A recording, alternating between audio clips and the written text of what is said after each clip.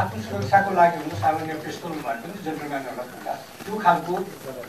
कयौँ गोली लाग्ने। त्यस्तो हतियार यदि कुनै गलत मान्छेले चाहिँ लाइसेन्स लिएर बोल्नु हुँदैछ भोलि कुनै पब्लिक नासाकार भयो भने त्यसको रेस्पोन्सिबिलिटी सरकारमाथि आउँछ त्यसैले यो नीतिको समीक्षा गर्नुपर्ने सरकारले आवश्यक ठानेको छ कि छैन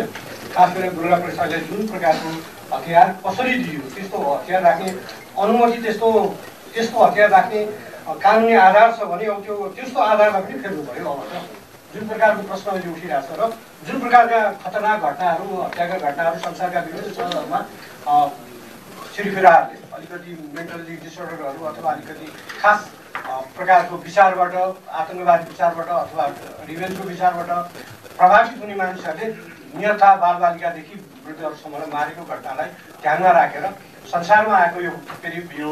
फेनोमेनालाई पनि हेरेर हाम्रो सुरक्षा व्यवस्था बलियो बनाउन र यस्तो हतियारहरू कतिजनालाई दिएको छ त्यसमा?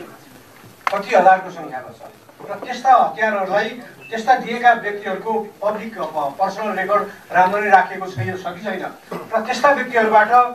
तपाईँहरूले चाहिँ त्यो हतियारहरू फिर्ता लिनुपर्ने आवश्यकता ठान्नु भएको छ कि छैन? किन भन्दाखेरि त्यो त पब्लिकको सुरक्षासँग अत्यन्त गम्भीर रूपले जोडिएको प्रश्न